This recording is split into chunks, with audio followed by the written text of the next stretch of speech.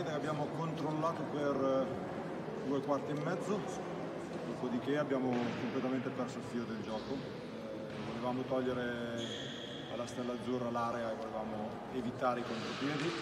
Finché abbiamo retto a rimbalzo e siamo stati bravi a chiudere l'area, la partita sotto controllo.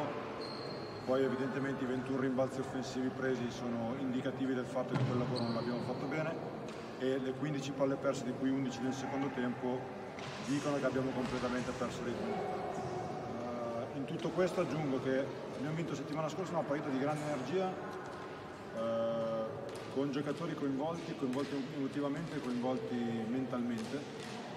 Oggi abbiamo avuto qualcuno che ha cominciato a lamentarsi perché gli si è chiesto di fare un sacrificio e questa cosa non va bene, siamo costruiti per doverci salvare, i nostri giocatori devono capire immediatamente, subito da stasera, che quando gli si chiede un sacrificio si devono sacrificare tutti